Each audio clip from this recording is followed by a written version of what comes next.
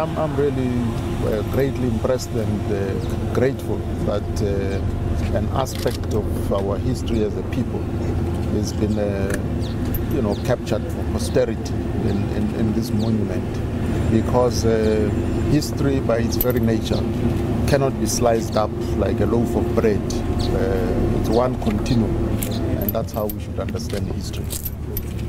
Uh, your response to some media reports that the, the Voortrekker Monument in particular is facing financial crisis. If, if uh, the Department of Arts and Culture uh, has the means to assist, they should really assist here because this is part of our heritage here.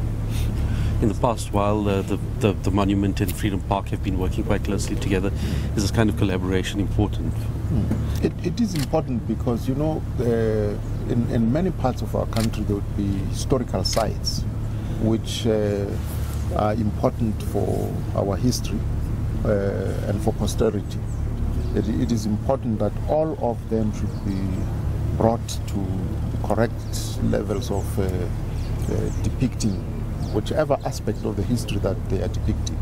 And, and, and so that, uh, you know, we can have a, a logical trail that uh, young people and, you know, the uh, visitors can follow in order to understand who we are, where we come from, and, and you know, what the future holds for us.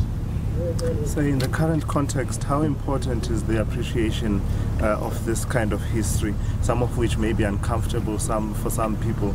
Uh, how important is it in terms of nation building and national cohesion and building a common identity?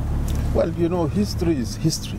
There's not much you can do about it. You can't undo it. You can't uh, brush it. You can't uh, distort it it has to be told as factually as is possible. Uh, and, and that then serves as the platform for us moving forward in our endeavor to create a truly united, democratic, non racial, non sexist South African nation.